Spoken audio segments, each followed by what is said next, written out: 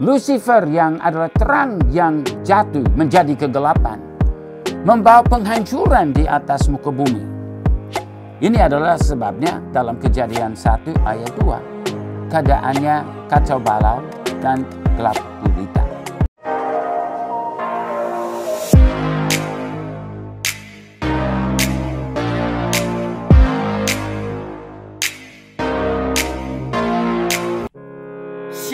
sahabat John Pregador Senang sekali bisa bertemu kembali dengan sahabat di channel ini. Terima kasih sahabat sudah setia mengikuti channel ini sampai hari ini. Saya berdoa kepada Tuhan Kiranya Tuhan Yesuslah yang membalas dan memberkati kita semua.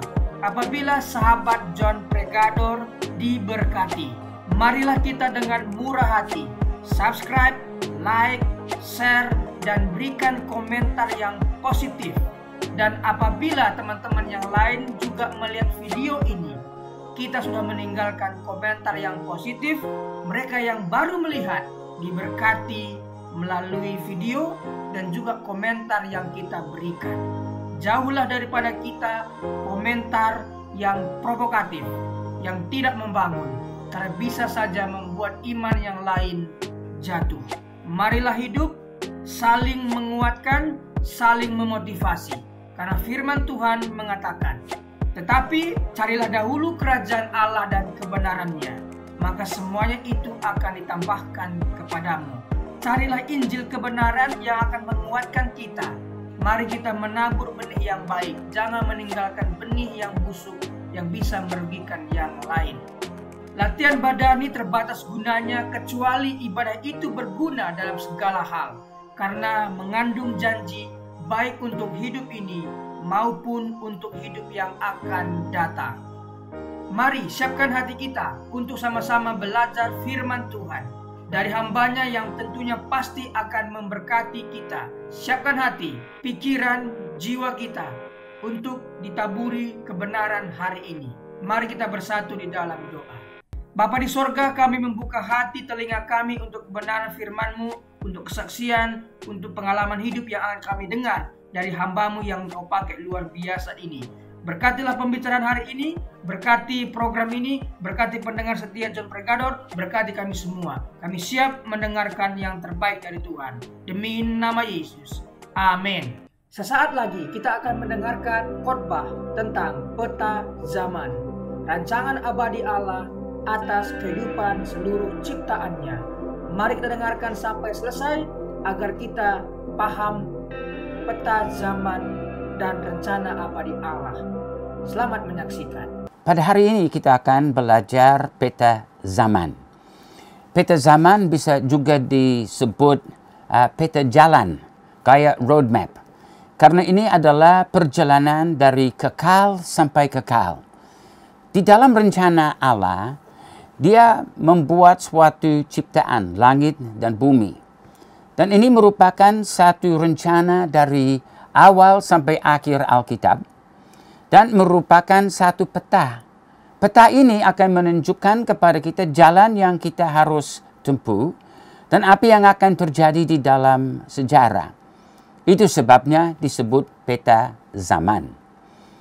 Nah, sebagaimana kita dapat melihat di dalam layar kita melihat bahwa peta zaman itu dari kekal sampai kekal.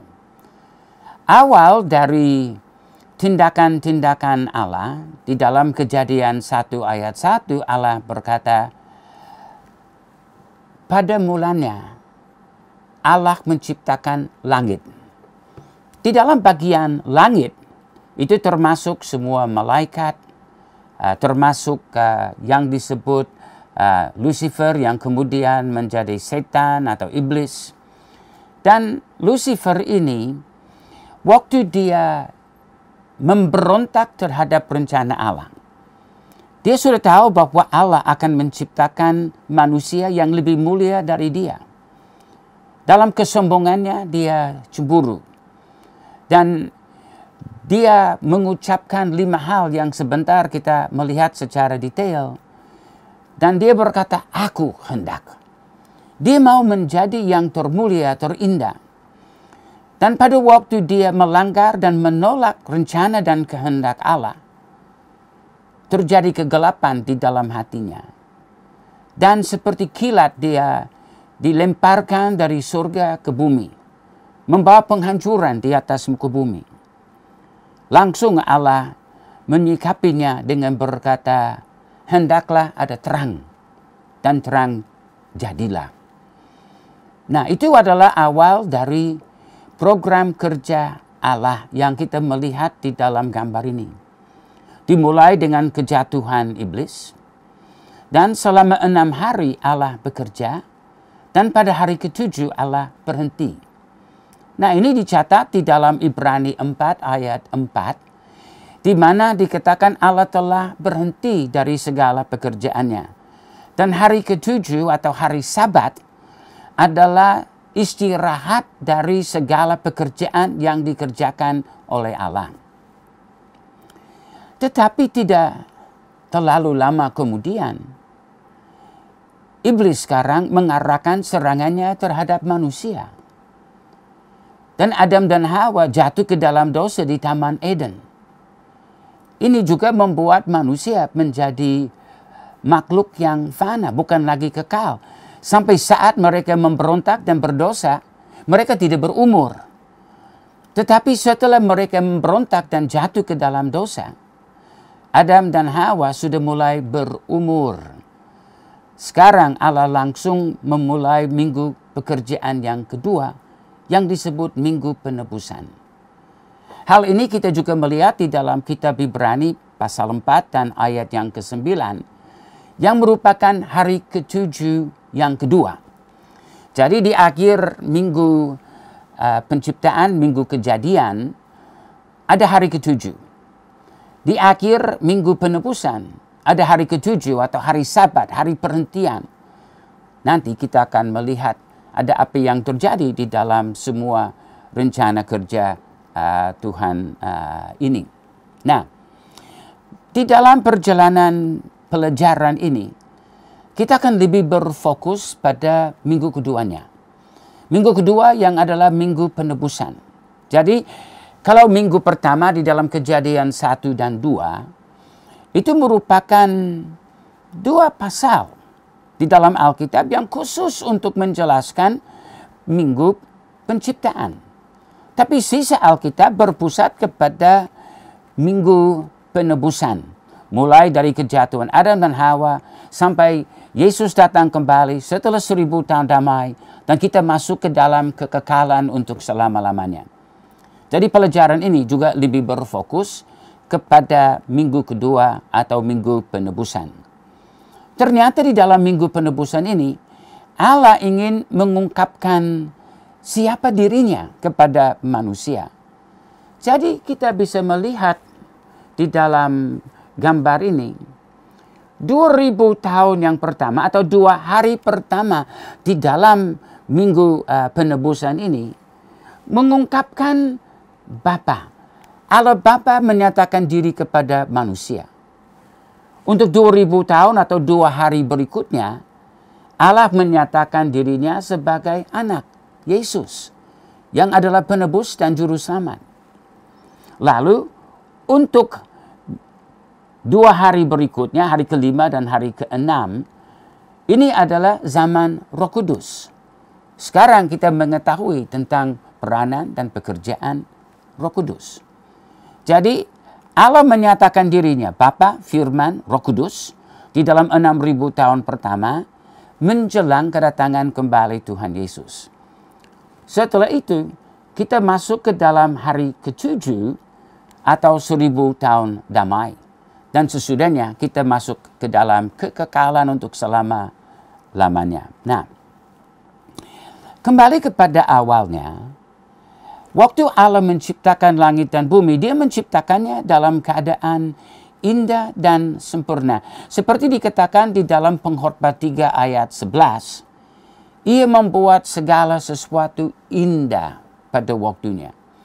Jadi tidak ada kelam kabut, tidak ada kekacauan, uh, tidak ada kegelapan, tapi itu indah. Sebagaimana firman Tuhan telah katakan. dalam kejadian 1 ayat 1, kita melihat bumi diciptakan indah dan sempurna. Tetapi di dalam kejadian 1 ayat 2, bumi sudah rusak. Sudah kacau balau. Sudah penuh kegelapan. Ada api yang terjadi. Tuhan menciptakan langit dan bumi itu indah, tapi sekarang kita melihat dia rusak, hancur, dan penuh kegelapan. Nah, terjemahan kejadian 1 ayat 2 dalam Alkitab Bahasa Indonesia, sayang sekali adalah kurang tepat dan tidak sesuai dengan bahasa asli, bahasa Ibrani. Nah, kita dapat membandingkan dengan terjemahan-terjemahan bahasa Inggris, bahasa Mandarin, dan bahasa-bahasa yang lain. Dan kalian akan melihat bahwa kata belum yang ada di dalam terjemahan bahasa Indonesia, waktu dikatakan dan bumi belum berbentuk dan kosong, itu tidak sesuai dengan uh, bahasa mana pun, apalagi di dalam bahasa Ibrani, di dalam Alkitab um, asli. Kata belum kurang tepat Nah, kita dapat lihat di dalam terjemahan bahasa uh, Ibrani, dalam kejadian 1 ayat 2, dan bumi menjadi, bukan bumi belum, justru bahasa Ibrani di situ menjadi atau kata hayeta. Bumi menjadi, hayeta, kacau balau dan kosong. Nah ini terjemahan dari bahasa Ibrani toku vabahu, yang artinya kacau balau dan kosong bukan belum dibentuk.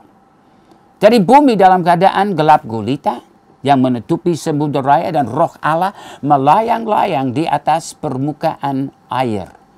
Jadi keadaan bumi dalam kejadian 1 ayat 2 adalah keadaan yang sudah rusak dan hancur dan Allah langsung bertindak. Tapi sebelum kita melihat tindakan Allah, mari kita melihat ini bahasa Ibrani toku vabahu.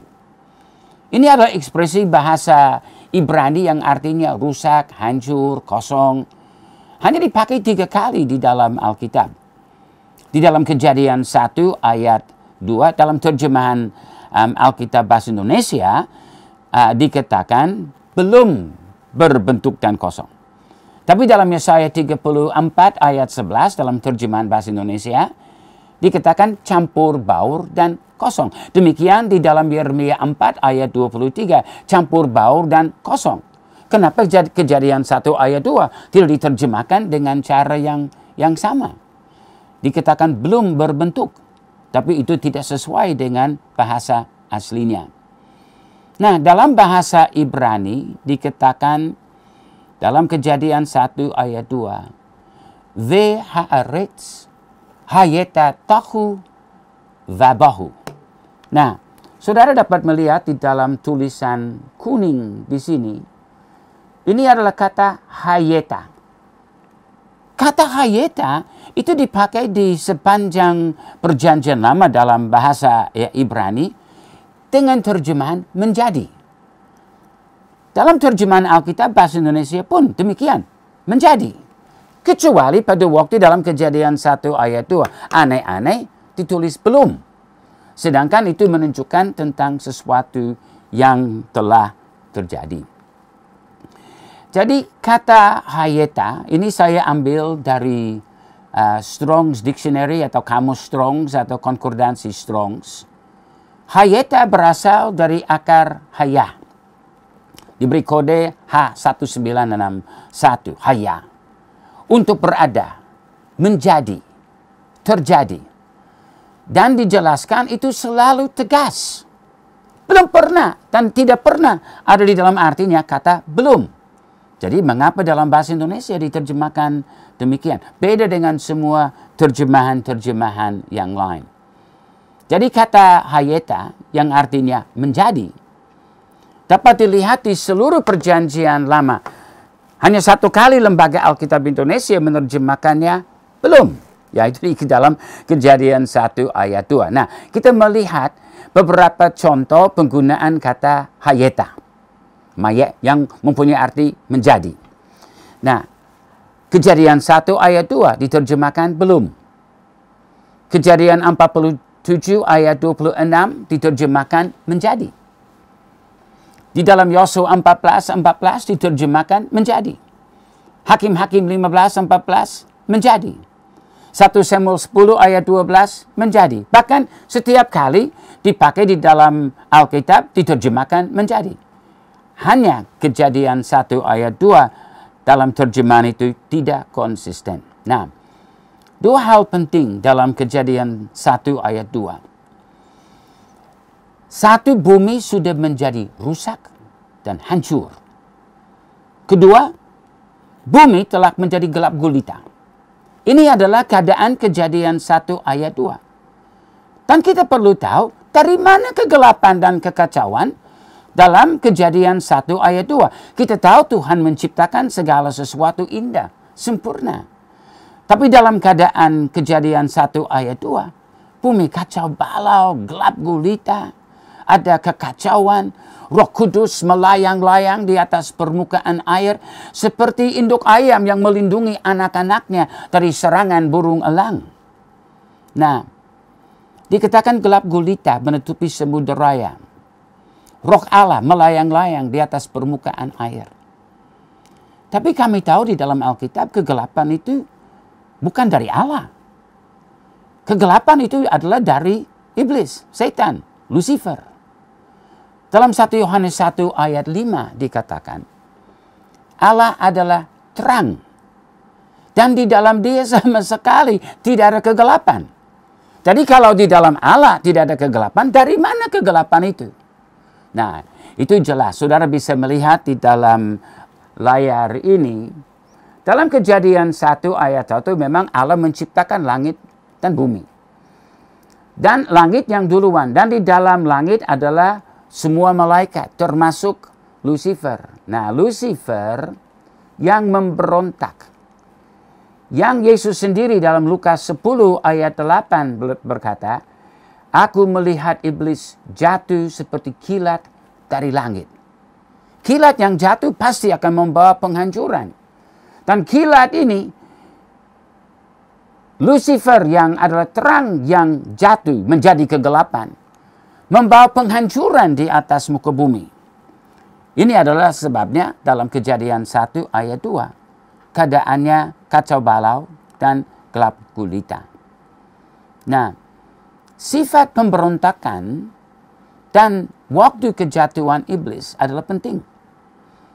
Karena itu akan menolong kita untuk memahami apa sebabnya pada kejadian 1 ayat 3 Allah langsung intervensi dan berkata hendaklah ada terang. Dan Allah memisahkan di antara terang dan kegelapan. Kita sudah tahu di sepanjang Alkitab kerajaan kegelapan adalah kerajaan setan. Kita semua diberitahukan untuk lari dari kegelapan. Jangan hidup di dalam kegelapan. Kita harus hidup di dalam terang. Itu berbicara tentang Allah, sifat Allah, kasih Allah, kebenaran Allah. Jadi perhatikan, iblis pada awalnya adalah mulia. Tetapi karena pemberontakan iblis, dia dicampakkan ke bumi. Ini adalah karena sifat keakuan iblis. Lima kali dia berkata, aku hendak. Jadi ini sebabnya kalau kita berbicara tentang tabiat keakuan, itu berbicara tentang kesombongan, satu kejahatan, cacat karakter seseorang. Dan kita melihat ini adalah tabiat iblis. Nah, kita juga melihat waktu dia jatuh dan dilemparkan ke bumi. Akibatnya adalah bumi menjadi rusak dan gelap. Di dalam Yesaya 14, 12 sampai 17 dikatakan begini.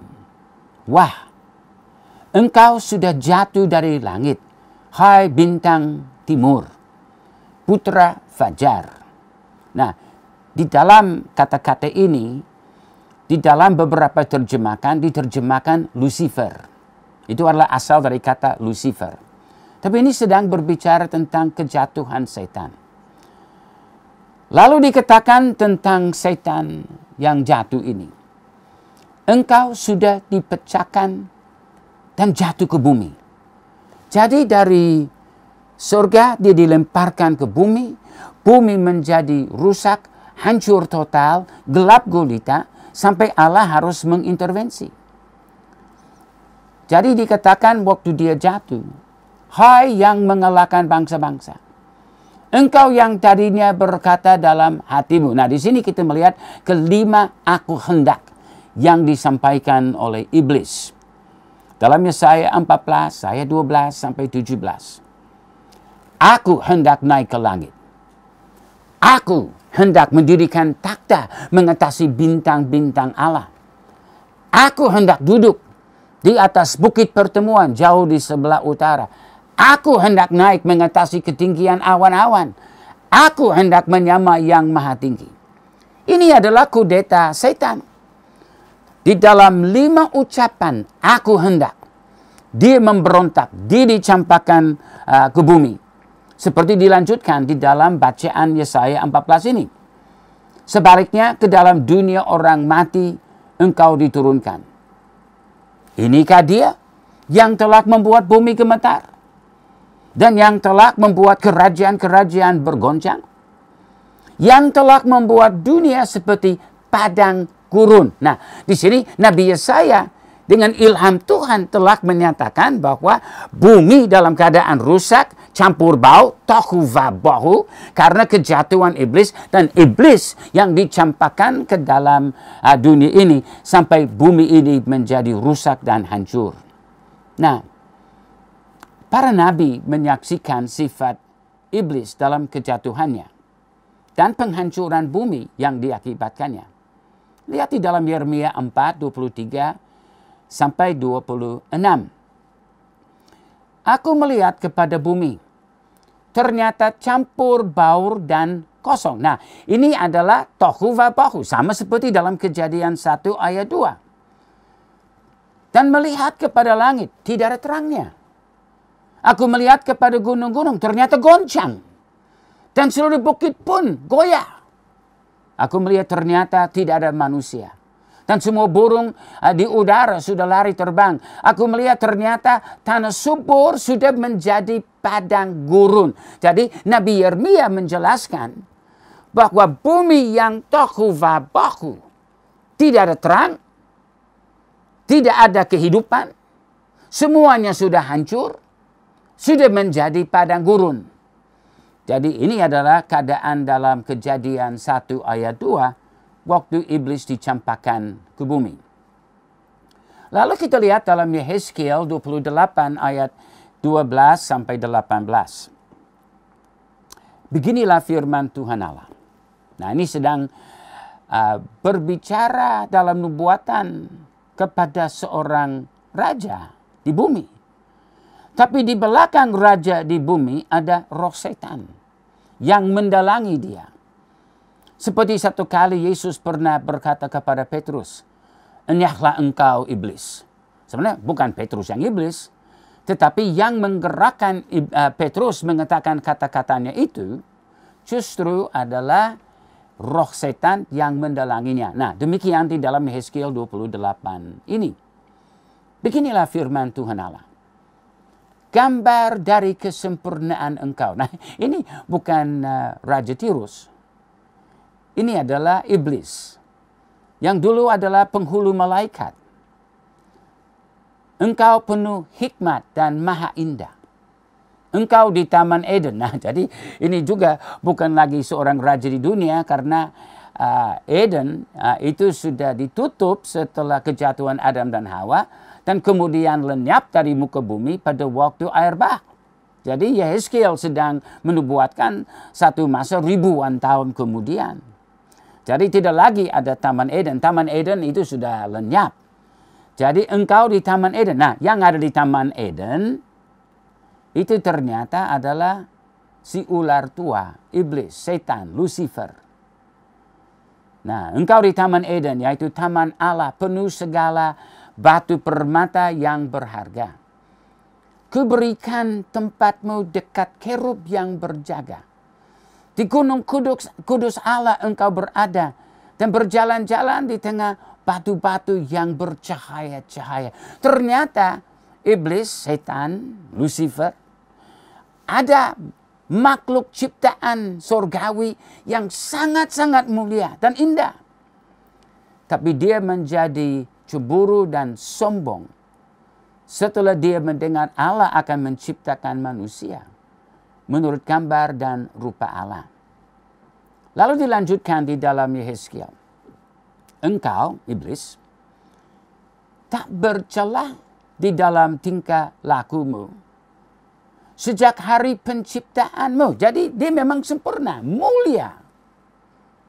Tetapi ini hanya sampai terdapat kecurangan padamu. Engkau iblis sombong karena kecantikanmu. Hikmatmu kau musnahkan demi semarakmu.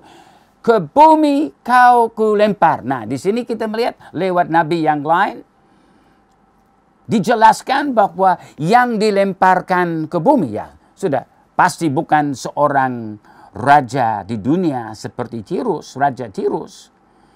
Ini adalah satu malaikat, penghulu malaikat, bahkan seorang kerub yang sudah dilemparkan ke bumi.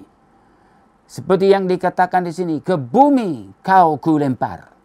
Kepada raja-raja engkau kuserahkan menjadi tontonan bagi matanya. Dan kubiarkan engkau menjadi abu. Jadi seperti waktu Yesus berkata, aku melihat iblis jatuh seperti kilat ke bumi. Ya, memang kilat membawa abu, membawa penghancuran, membawa kegelapan. Engkau menjadi abu di atas bumi. Di hadapan semua yang melihatnya. Jadi kita melihat di dalam minggu penciptaan ada Lucifer yang jatuh seperti kilat. Dan Allah langsung menanggapinya dengan berkata, hendaklah ada terang. Jadi di sini kita melihat enam hari Allah bekerja. Dalam enam hari, hari pertama dia menciptakan terang dan memisahkan terang dari kegelapan. Hari kedua cakrawala. Hari ketiga darat dan tumbuh-tumbuhan.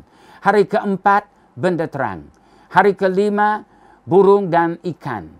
Hari keenam manusia dan binatang. Yang menjadi puncak minggu penciptaan adalah manusia, Adam dan Hawa. Ini yang memang menjadi tujuan Allah supaya di dalam pola kerjanya, rencana kerjanya yang akan dihasilkan adalah yang merupakan maksud abadi Allah memultiplikasi persekutuannya. Bapa, Firman, dan Roh Kudus akan menciptakan makhluk-makhluk yang akan menjadi serupa dengan dirinya. Manusia, Adam dan Hawa, dan keturunannya. Nah, ini adalah yang mulia yang terjadi di akhir hari yang uh, keenam.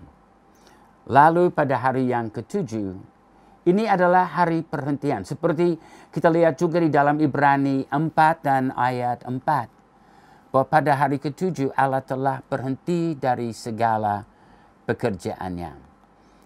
Jadi kejadian 1 ayat 1 pada mulanya Allah menciptakan langit dan bumi. Nah dalam bahasa Ibrani, nah mungkin saudara tidak ahli dalam bahasa Ibrani. Ini bahasa Ibrani-nya dalam kejadian 1 ayat 1 Bereshit bara Elohim et Hashemayim ve et ha-eretz. Saya ingin saudara-saudara memperhatikan kedua kata yang berwarna hijau. Et, et. Ini adalah dua huruf dalam abjad bahasa Ibrani, alif, tav. Huruf pertama, huruf terakhir di dalam uh, abjad bahasa uh, uh, Ibrani. Nah, kita dapat melihat di dalam ya kalau sudah dilatinkan huruf-hurufnya, Bereshit para Elohim et Hashemaim ve et ha uh, eretz. Nah, saudara bisa melihat et et. Ini adalah alif tav, alif tav. Sama seperti bahasa uh, Yunani yang berkata alfa omega, awal dan uh, akhir. Jadi dalam bahasa Ibrani kedua huruf et adalah alif dan tav seperti bahasa Yunani alfa omega. Alfa awal dan kesudahan. Nah, ini kita melihat maknanya di dalam Wahyu 22 ayat 13.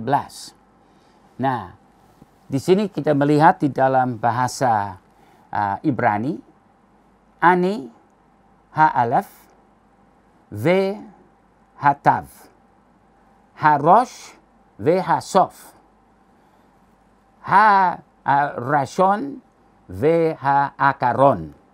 Nah, dalam bahasa Yunani kita akan melihat itu adalah whoops ego emi toh alef kai toh omega ho protos eskotos arkai kai telos. Bahasa Inggrisnya I am the alpha and the omega the beginning and the end the first and the last. Bahasa Indonesianya, aku adalah Alpha dan Omega. Yang pertama dan yang terkemudian. Yang awal dan yang akhir. Nah ini Yesus yang sedang berbicara. Tadi dengan demikian kita sudah tahu apa itu Alpha dan Omega. Apa itu Alif dan Tav. Dalam Wahyu 21 ayat 6 firmannya, firmannya lagi, uh, kepadaku. Semuanya telah terjadi. Aku adalah Alfa dan Omega yang awal dan yang akhir. Jadi huruf pertama artinya permulaan. Huruf terakhir artinya akhiran. Nah, bandingkan kembali dengan kejadian satu ayat satu. Sebab ini dua huruf et, alif, taf, tidak diterjemahkan. Bahkan sepertinya bagaimana kita mau menerjemahkannya. Tapi menjadi jelas dari pasal terakhir di dalam Alkitab. Ini berbicara tentang awal dan akhir. Jadi sekarang kita dapat melihat selengkapnya makna dari kejadian satu ayat satu. Pada mulanya Allah menciptakan Ed. Apa itu Ed? Awal dan kesudahan. Langit. Dan Ed awal dan kesudahan bumi. Jadi kejadian satu ayat satu sedang menyampaikan kepada kita pada mulanya Allah menciptakan awal dan kesudahan langit dan awal dan kesudahan bumi. Artinya Allah sudah menciptakan langit dan bumi bersifat sementara saja. Dia sudah merencanakan akhirnya sejak permulaannya. Jadi pada orang berpikir, oh langit dan bumi itu kekal. Bukan saudara-saudara. Langit dan bumi diciptakan Allah sebagai pabrik kerja, lepangan kerja. Di mana Allah akan bekerja untuk menghasilkan maksud abadinya. Jadi di dalam kurun langit dan bumi, kita akan melihat alam semesta.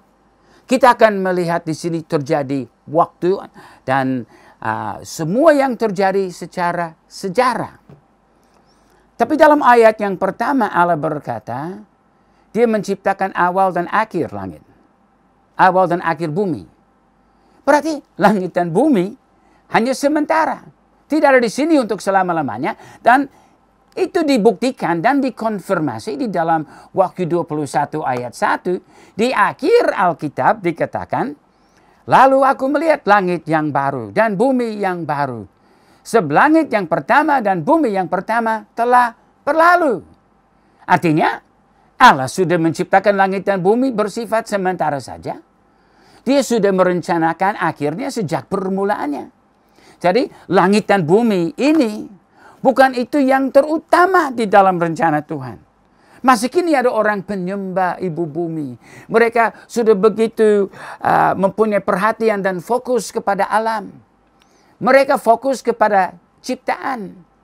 Tapi seharusnya kita fokus kepada sang pencipta. Jadi di dalam pelajaran peta zaman, kita melihat dari kekal sampai kekal, dari awal sampai akhir. Jadi minggu penciptaan, enam hari Allah bekerja menciptakan, hari ketujuh Allah berhenti Nah, seperti yang kami katakan dalam kejadian 4, ah, Ibrani 4 ayat 4, hari ketujuh yang pertama. Tapi karena manusia juga jatuh ke dalam dosa, ada hari ketujuh yang kedua. Karena Allah akan membuat minggu pekerjaan yang kedua yang disebut minggu penebusan. Minggu pertama mulai dengan kejatuhan iblis. Minggu kedua mulai dengan kejatuhan Adam dan Hawa. Lalu selama enam hari Allah bekerja untuk menebus manusia dari dosa. Untuk membawa keselamatan kepada manusia. Dan diberi waktu enam hari atau enam ribu tahun untuk Allah menggenapi rencana itu. Lalu di akhir hari yang keenam Yesus akan datang kembali. Dan pada hari yang ketujuh itu adalah milenium. Itu adalah seribu tahun damai. Itu adalah waktu kita akan hidup di dalam kemuliaan Allah di atas muka bumi ini. Dan ini yang di dalam Ibrani 4 ayat 9 yang adalah hari kedua atau hari ketujuh yang kedua di dalam program kerja Tuhan. Jadi apa yang menjadi terpenting di dalam rencana penciptaan Allah? Langit dan bumi kah? Bukan. Langit dan bumi hanya sementara. Yang terpenting adalah manusia. Adam dan Hawa yang akan menggenapi maksud abadi Allah, masuk ke dalam persekutuan dengan Allah untuk selama-lamanya. Itu sebabnya dalam pengkhotbah 3 ayat 11 dikatakan ia membuat segala sesuatu indah pada waktunya. Bahkan ia memberikan kekalan dalam hati mereka. Jadi manusia ada kekekalan di dalamnya. Langit dan bumi hanya sementara. Karena Allah menciptakan awal dan akhir langit dan awal dan akhir bumi. Tetapi manusia adalah kekal. Suka atau tidak suka, saudara dan saya kekal. Dan kita akan kekal di surga atau kekal di neraka. Hanya dua alternatif. Tetapi manusia jauh lebih penting daripada langit dan bumi. Langit dan bumi akan lenyap. Tapi saudara dan saya, kita tidak akan lenyap. Kita akan tinggal di surga dalam persekutuan kemuliaan Allah selama-lamanya atau kalau menolak kasih Allah, menolak keselamatan di dalam Yesus Kristus, kita akan hidup di dalam alam neraka untuk selama-lamanya. Nah, rencana Tuhan untuk membasmi dosa dan memproses manusia supaya kita menjadi serupa Yesus itu disusun di dalam program kerja dua minggu yang masing-masing 7000 tahun namanya. Minggu kejadian 7000 tahun, minggu penebusan 7000 tahun. Nah, Ibrani 4 ayat 4 sampai 5 sebab tentang hari ketujuh, nah ini minggu uh, penciptaan, pernah dikatakan dalam suatu nas, dan Allah bekerja pada hari ketujuh, dari segala berhenti dari segala uh, Allah berhenti pada hari ketujuh dari segala pekerjaannya. Dan dalam nas itu kita baca mereka takkan masuk ke tempat perhentianku yang akan datang. Jadi perhentian yang kedua. Jadi kita melihat di dalam hari ketujuh yang pertama memang ada dua hari ketujuh tapi yang pertama di akhir hari uh, minggu penciptaan. Jadi hari ketujuh yang pertama Mari kita baca Ibrani 4, 8, dan 9. Sebab andai kata Yosua telah membawa mereka masuk ke tempat perhentian, pasti Allah tidak akan berkata-kata kemudian tentang suatu hari lain. Ada hari ketujuh yang kedua yang akan datang. Ayat 9. Jadi masih tersedia suatu hari perhentian. Hari ketujuh bagi umat Allah. Inilah hari ketujuh yang kedua yang kita nantikan. Yang juga disebut seribu tahun damai. Jadi dua minggu, minggu penciptaan, minggu penebusan. Masing-masing mulai dengan suatu kejatuhan ke dalam dosa. Yang pertama dengan Lucifer, yang kedua dengan Adam. Allah bekerja enam hari atau enam ribu tahun, hari ketujuh dia berhenti. Sekarang kita di dalam minggu penebusan dan sejak kejatuhan Adam dan Hawa, kita ada di bagian akhir hari ke-6. Tidak lama lagi Yesus akan datang kembali. Dan hari yang ketujuh, yang kedua, seribu tahun damai, akan menjadi hari yang mulia buat kita. Nah, tadi saya juga katakan fokus utama kita adalah minggu kedua, minggu penebusan. Yang ada tiga zaman. Zaman Bapa, zaman Anak, zaman Roh Kudus. Jadi ini gaya tanda tangan Allah di atas sejarah. Supaya kita dapat mengenal siapakah Allah. Allah adalah Bapa. Allah adalah anak. Allah adalah roh kudus. Hal ini juga sesuai dengan apa yang diajarkan para nabi di dalam zaman perjanjian lama, para rasul perjanjian baru. Tetapi mungkin juga sedikit mengejutkan bahwa ini juga diajarkan oleh ahli-ahli Yahudi, para rabi, para ahli Taurat. Mereka juga sudah tahu bahwa pola Allah di dalam minggu penebusan adalah enam hari atau enam ribu tahun Allah bekerja dan hari ketujuh adalah perhentian. Mari kita perhatikan beberapa uh, ahli Yahudi. Nah, mereka berpandangan bahwa sejarah manusia akan berakhir setelah 6000 tahun. Jadi dari kejatuhan Adam sampai di akhir sejarah manusia 6000 tahun. Nah, ini yang orang Yahudi, ahli-ahlinya. Uh, ini adalah rabi-rabi yang mengatakannya. Dan mereka percaya bahwa Mesias akan kembali dan memerintah selama seribu tahun. Sayang sekali mereka tidak menyadari bahwa Mesias sudah datang 2000 tahun yang lalu. Pertama dia datang sebagai anak domba yang membawa keselamatan. Sebagai korban yang sudah menebus kita dari dosa. Dan dia akan datang lagi sebagai singa dari suku Yehuda. Raja segala raja yang akan menghakimi segala kejahatan. Orang Yahudi hanya mengharapkan Mesias sebagai singa dan tidak mengenal dia sebagai anak domba. Untuk mereka mendapat keselamatan, mereka juga harus sadar Yesus adalah anak domba yang membawa keselamatan. Sayang itu sudah lewat dan sekarang kita di akhir hari yang keenam. Mereka menantikan Mesias sama seperti kita. Mereka menantikan singa dari suku Yehuda sama seperti kita. Tapi kalau mereka mau selamat, mereka juga harus mengakui Yesus adalah sang juru selamat, Mesias, anak domba yang disalibkan di kayu salib 2000 tahun yang lalu. Nah,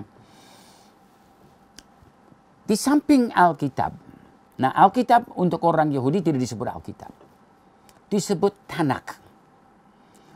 Nah, dari Tanak atau Alkitab orang Yahudi adalah yang terpenting. Nah, sesudahnya ada yang disebut Talmud. Talmud paling penting sebagai otoritas agama Yahudi. Dalam Talmud sering dijelaskan bahwa dunia yang kita kenal hanya berlaku selama 6000 tahun.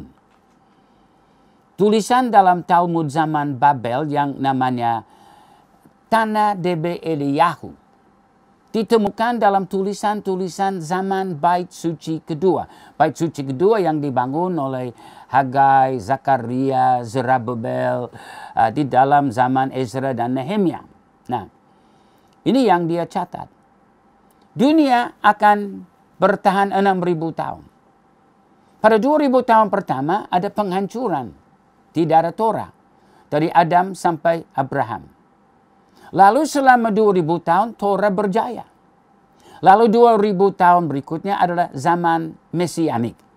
Jadi ini hampir persis sama seperti yang kami jelaskan di dalam peta zaman. Nah, Rabbi Ketina berkata dalam tulisan yang berjudul Gemara, sebuah komentar tentang Talmud pada tahun 280 Masehi. Dunia akan bertahan 6000 tahun dan 1000 tahun terjadi suatu kebinasaan, yaitu semua musuh Allah dibinasakan. Tentang zaman itu dikatakan hanya Tuhan saja dipermuliakan pada hari itu. Nah, dia menambahkan dari setiap tujuh tahun, tahun ketujuh adalah tahun perhentian. Demikian dari tujuh ribu tahun dunia ini, milenium ketujuh adalah milenium seribu tahun uh, perhentian sehingga Allah saja yang dipermuliakan pada hari itu. Kita juga melihat bahwa para penulis awal zaman Kristen telah meyakini bahwa di akhir 6000 tahun sejarah Kristus akan kembali dan memerintah selama 1000 tahun, milenium. Kita melihat dari tulisan-tulisan awal sejarah gereja Barnabas yang mungkin Barnabas yang mendampingi Paulus ada tulisan ini adalah satu surat pada tahun 100 uh, Masehi lebih kurang. Ada juga Justin Mather tahun 150 Masehi. Irenaeus 150 Masehi. Lactantius 325 Masehi dan Methodus Met, uh, Methodius uh, yang uskup atau bishop of Tyre tahun 300 Masehi. Nah, ini pemimpin-pemimpin di dalam zaman awal yang menulis tentang topik bumi ini 6000 tahun dan ada hari ketujuh 1000 tahun damai. Jadi ini keyakinan yang sudah dari dari uh, zaman Nabi Daniel sampai kepada zaman uh, gereja mula-mula bahkan sampai di akhir zaman kita ini. Nah, Barnabas yang menulis yang sekitar tahun 100 Masehi sebagaimana ada 2000 tahun dari Adam sampai Abraham dan 2000 tahun dari Abraham sampai Kristus. Maka akan ada 2000 tahun zaman Kristen, lalu kemudian akan datang milenium 1000 tahun damai. Salah satu tokoh gereja lainnya uh, Irenaeus, seorang bapak rohani gereja mula-mula yang sangat dihargai menulis pada tahun 150 Masehi. Karena hari Tuhan adalah seribu tahun, dan dalam enam hari segala yang diciptakan sudah lengkap, maka adalah nyata karena itu bahwa akan datang uh, kesudahan di akhir tahun ke-6000 itu. Lactantius yang tutor putra Kaisar Roma Konstantin mencatat dalam tulisannya Divine Institutes di dalam pasal uh, 14 yang ditulis sekitar tahun 325 Masehi. Kiranya para filsafat ketahui bahwa 6000 tahun itu belum genap. Dan bila sudah genap, akhiran akan terjadi. Jadi tulisan-tulisan bapak-bapak gereja telah mendukung adanya para rasul dan gereja mula-mula telah percaya bahwa milenium seribu tahun damai akan terjadi setelah selesai enam ribu tahun uh, itu. Nah, misalnya Victorinus, uh, Uskop uh, Petau pada AD 300, Hippolytus uh, of Rome, uh, AD 225, semua sudah percaya itu.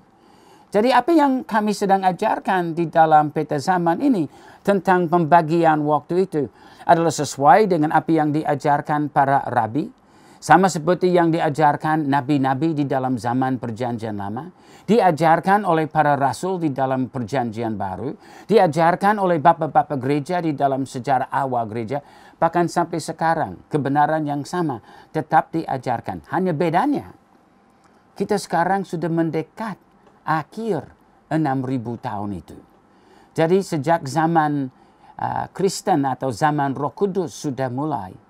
Pada tahun 30 waktu Yesus disalibkan, Roh Kudus dicurahkan sampai sekarang tahun 2019 sudah jalan lebih kurang 1800 uh, 989 tahun. Jadi kalau kita secara harfiah mungkin hanya 11 tahun lagi. Tetapi kita tahu bahwa kemungkinan besar ada kesalahan-kesalahan di dalam hitungan sejarah, di dalam kronologi-kronologi. Jadi mungkin 10 tahun lagi, mungkin 40 tahun lagi. Hanya Bapa yang tahu apa harinya Yesus akan datang kembali. Kita hanya tahu waktunya sudah dekat. Kita sudah tahu generasi kita adalah generasi yang terakhir. Nah, saya sudah sebut bahwa satu hari adalah seribu tahun. Kenapa saya katakan begitu?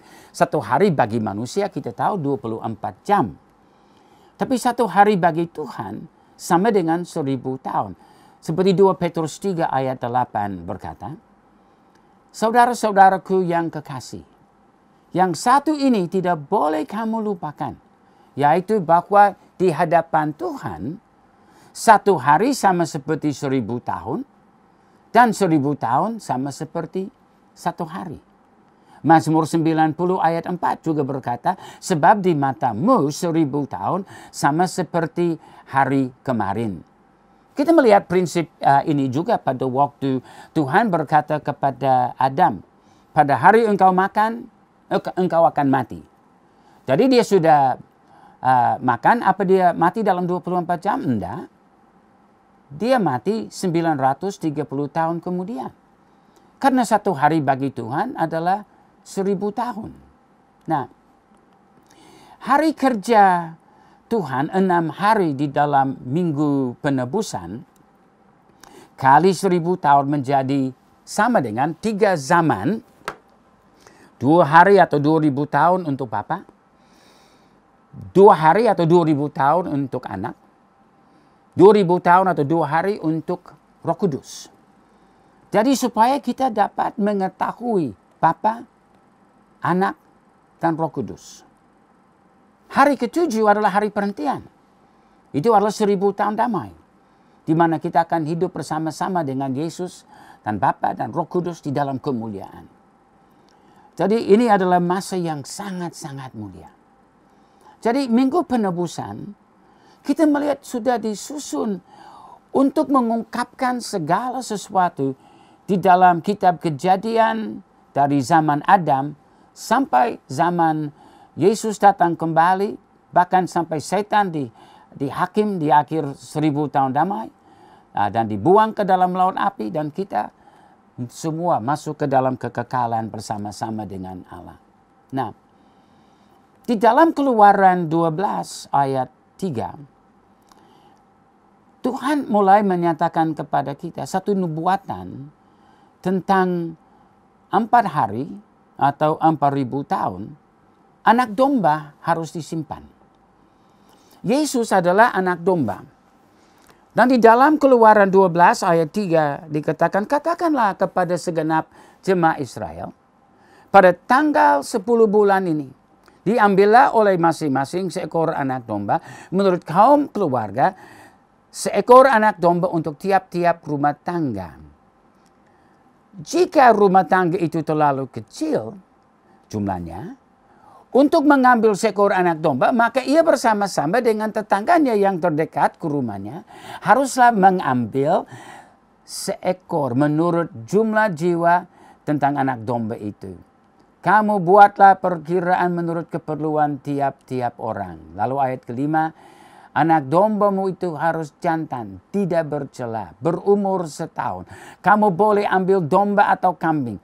Ayat 6, kamu harus mengurungnya sampai hari ke-14 bulan ini.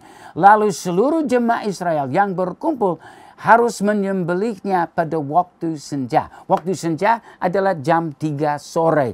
Waktu diadakan uh, korban petang hari.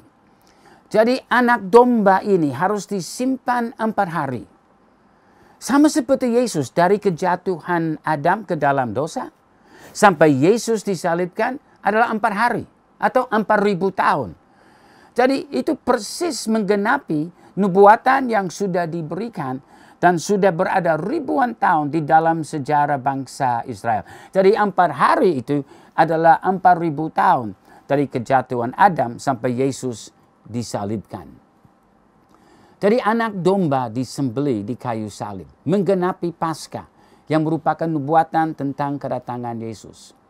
Tapi kita juga lihat dalam kitab Nabi Hosea.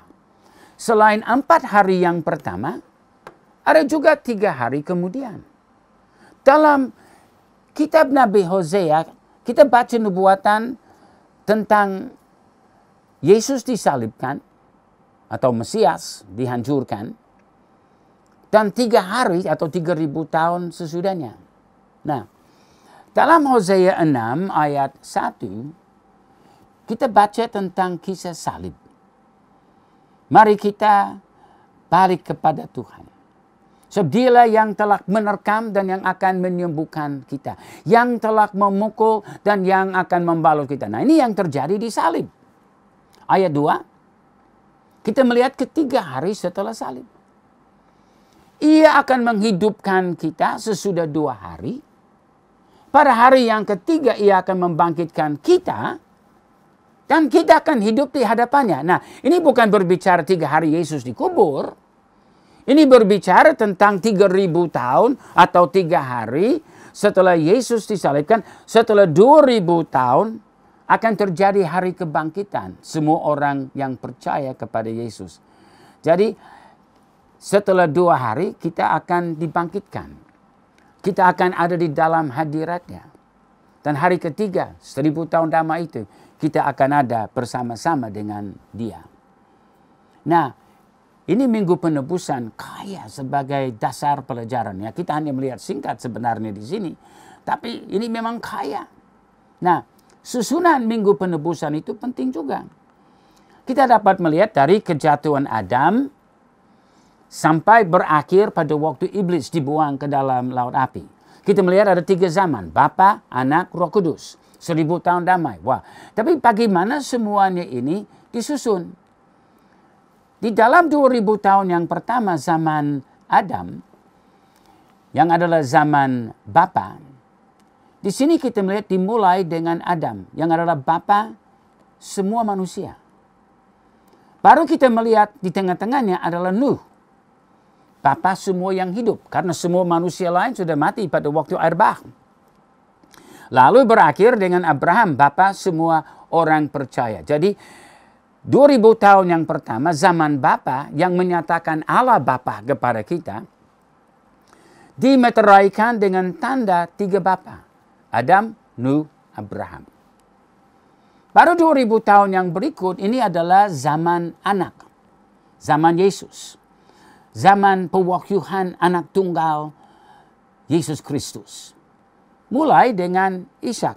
Nah, saudara bisa melihat di awal zaman anak. Jadi setelah 2000 tahun yang membawa kita lewat zaman Bapa Adam, Nuh, Abraham, lalu membawa kita di awalnya kepada Ishak, anak tunggal Abraham.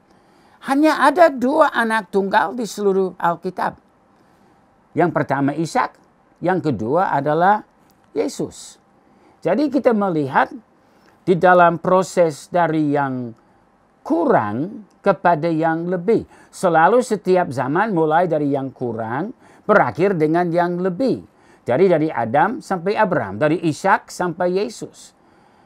Lalu abad uh, generasi atau zaman yang ketiga mengungkapkan kepada kita zaman Roh Kudus itu. Dan itu dimulai dengan pencurahan Roh Kudus di atas 120 orang pada hari Pentakosta. Lalu di akhir zaman Bapa, kita melihat kita sudah sampai tahun Yobel ke-120. Setiap Yobel adalah 50 tahun. Jadi dalam 2000 tahun zaman Bapa ada 40 Yobel. Dalam 2000 tahun zaman anak ada 40 Yobel. Di dalam zaman roh ada juga 40 Yobel. Jadi totalnya 40, 40, 40, 120 Yobel. Di dalam Alkitab, Yobel mempunyai arti kebinasaan segala kedagingan. Waktu Yesus datang kembali, habis semua kedagingan. Jadi ada banyak gambaran di dalam Alkitab yang mengkonfirmasi peta zaman. Kita dapat melihat dari zaman Nuh, karena Yesus berkata seperti terjadi pada zaman Nuh, demikian akan terjadi pada zaman kedatangan anak manusia. Di dalam zaman Nuh kita sudah tahu ada masa 120 tahun penantian untuk penghakiman. Seperti tadi kita lihat 120 Yobel. Jadi di dalam 80 tahun pertama setelah Tuhan menyatakan bahwa bumi akan dihancurkan, datang kepada zaman Nuh yang pada 40 tahun terakhir Nuh bersama dengan putra-putranya membangun sebuah batra. Ini menubuatkan juga di uh, uh, periode 40 Yobel yang terakhir zaman Roh Kudus kita membangun batra Tuhan yang disebut tubuh Kristus. Dan setiap orang yang di dalamnya selamat seperti di dalam uh, batra um, Nuh. Dalam kejadian 6 ayat 3 Tuhan telah berfirman. Rohku tidak akan selama-lamanya tinggal di dalam manusia karena manusia itu adalah daging. Tetapi umurnya akan 120 tahun saja. Jadi angka 120 menyatakan akhiran dari kedagingan. Itu sebabnya Musa waktu dia berumur 120 tutup uh, usianya dan Tuhan uh, angkat dia. Jadi dalam Yobel ke-120 Nah, kata Yobel itu adalah tahun ke-50, itu tahun kebebasan. Itu adalah tahun pengampunan. Itu adalah tahun pembatalan segala hutang. Waktu Yesus datang kembali, itu Yobel ke-120. Imamat 25 ayat 10, kamu harus mengeduskan tahun yang ke-50 dan mem memaklumkan kebebasan di negeri itu pada segenap penduduknya. Itu harus menjadi tahun Yobel bagimu. Dan kamu uh, harus masing-masing pulang uh, ke tanah miliknya dan kepada kaumnya. Jadi Yobel ke-120, dahsyat. Semua kedagingan sudah dihancurkan dan kita mendapat kebebasan yang luar biasa. Di dalam zaman Yobel ke-120, kita melihat penggenapan begitu banyak nubuatan yang di dalam um, Alkitab. Karena zaman Nuh 120 tahun membawa kebinasaan. Di dalam zaman uh, Musa pada 120 tahun, ya Tuhan angkat dia, dia punya usia tutup.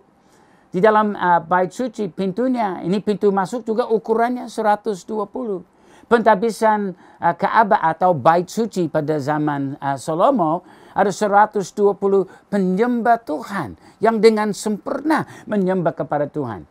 Kerajaan Israel hanya dipimpin oleh tiga raja secara utuh untuk seluruh Israel, Saul, Daud, dan Salomo. Masing-masing 40 tahun. Jadi total 120 tahun.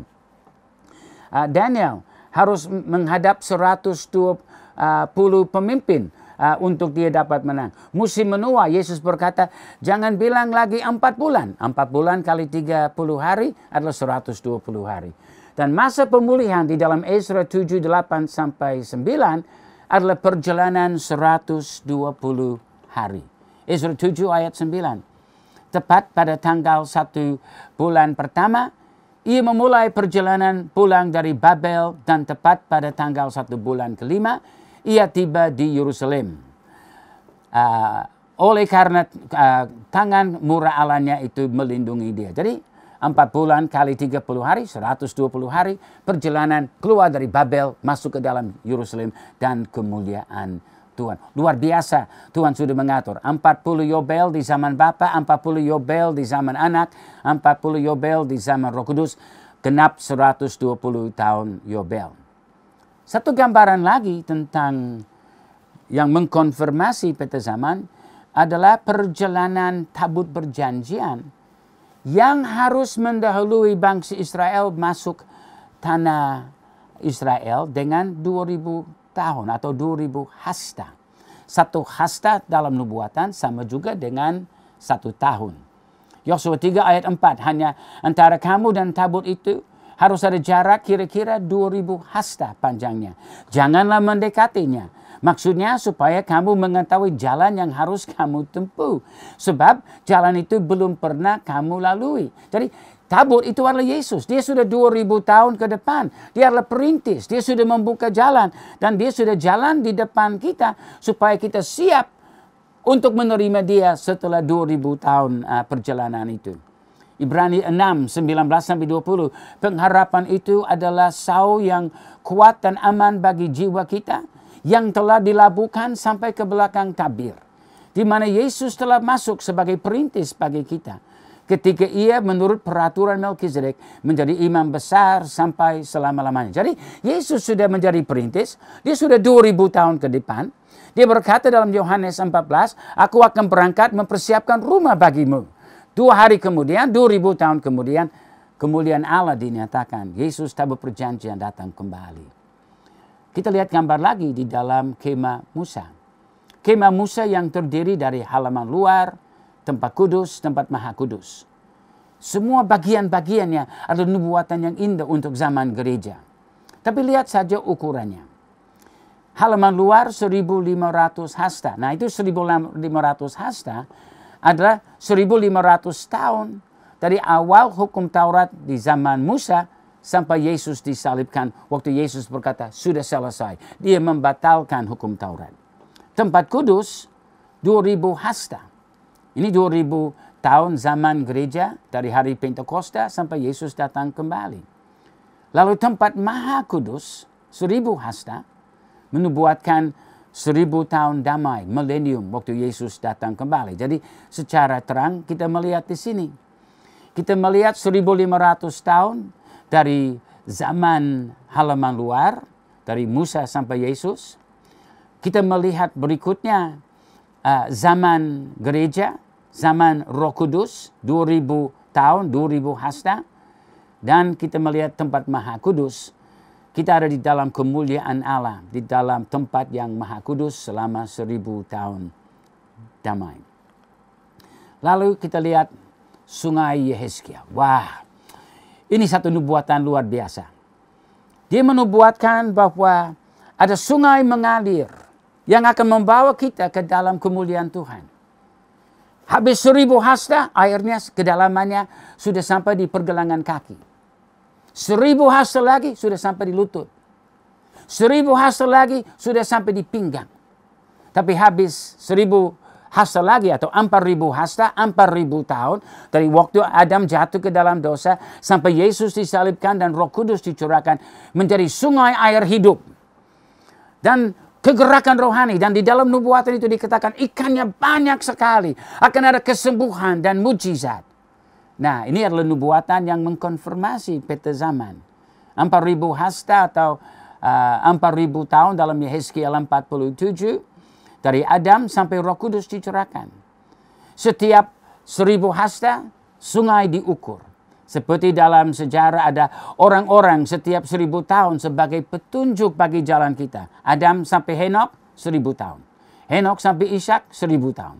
Ishak sampai Elia seribu tahun. Elia sampai Yesus seribu tahun. Lalu kita lihat pada waktu sudah sampai ke zaman Yesus dan roh kudus dicurahkan. Yesus berkata, aku akan menjadikan kamu bukan nelayan ikan tapi nelayan manusia. Tapi dinubuatkan lewat ikan. Coba lihat apa yang terjadi waktu sungai air hidup mulai mengalir. Roh Kudus dicurahkan dalam kisah 2. 3.000 jiwa bertobat. Kisah 4 ayat 4. 5.000 jiwa bertobat.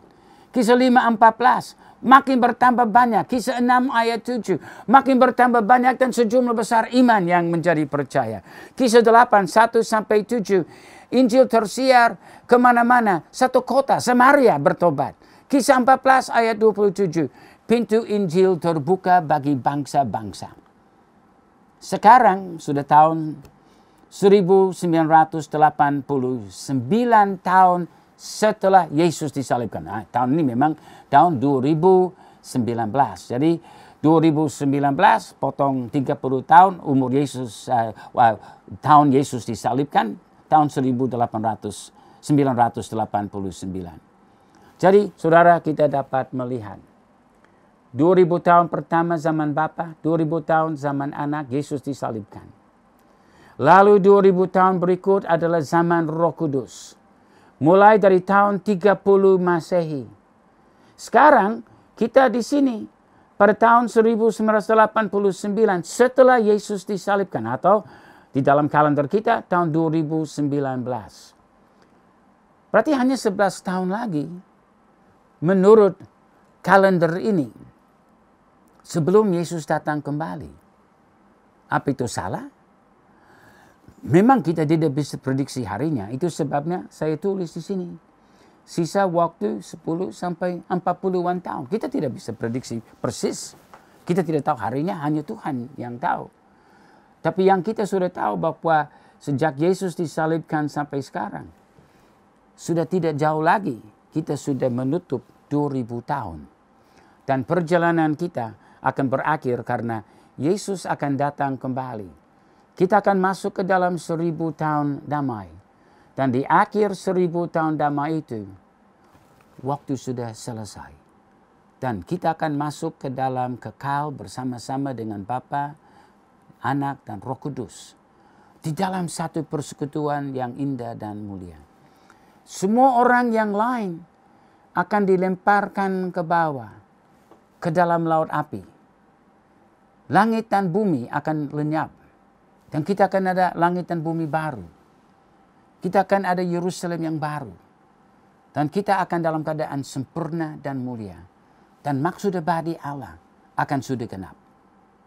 Apa saudara sudah membaca petunjuk-petunjuk di dalam peta zaman? Supaya saudara siap pada waktu Yesus datang kembali dan kita akan masuk ke dalam kekekalan bersama dengan Bapa, Firman, dan Roh Kudus. Amin.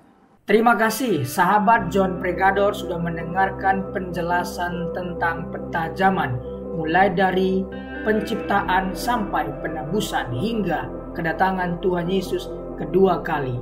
Semoga penjelasan ini boleh menjadi berkat bagi kita semua dan pada akhirnya kita semakin cinta, semakin melekat dengan Tuhan Yesus bahwa Yesus adalah satu-satunya jalan keselamatan. Terima kasih sahabat John Pregador sudah mendengarkan ceramah khotbah bersama hamba Tuhan yang dipakai Tuhan yang luar biasa. Saya yakin dan percaya kita pasti diberkati melalui khotbah ceramah hari ini. Apabila sahabat John Pregador diberkati, marilah kita dengan murah hati share video ini kepada teman-teman yang lain agar mereka juga diberkati seperti kita diberkati. Sahabat John Pregador, apa pun yang akan terjadi, tetap peganglah firman Tuhan. Jangan tinggalkan Tuhan, jangan mencari alternatif yang lain. Tetapi serahkanlah kekuatirmu hanya kepada Tuhan. Karena firman Tuhan mengatakan, Damai sejahtera ku tinggalkan bagimu, damai sejahtera ku kuberikan kepadamu, dan apa yang kuberikan tidak seperti yang diberikan oleh dunia kepadamu. Janganlah gelisah dan gentar hatimu. Dan firman Tuhan juga mengingatkan tentang janji Tuhan. Tuhan tidak lalai menepati janjinya sekalipun ada orang yang menganggapnya sebagai kelalaian, tetapi ia sabar terhadap kamu karena ia menghendaki supaya jangan ada yang binasa, melainkan supaya semua orang berbalik dan bertobat. Tuhan memberkati engkau dan melindungi engkau. Tuhan menyinari engkau dengan wajahnya dan memberikan engkau kasih karunia. Tuhan mengadapkan wajahnya kepadamu dan memberi engkau damai sejahtera. Berpegang pada janji Tuhan. Karena janji Tuhan iya dan amin. Tuhan Yesus memberkati. Mari kita berdoa. Tuhan terima kasih buat hari ini sungguh kami diberkati melalui khotbah ceramah diskusi. Berkatilah hambamu ini, berkati pelayanan, keluarga, bisnis, usaha yang dikelola. Berkati juga kru yang melayani juga berkati pendengar setia John Pregador. Demi nama Yesus kami berdoa. Amin.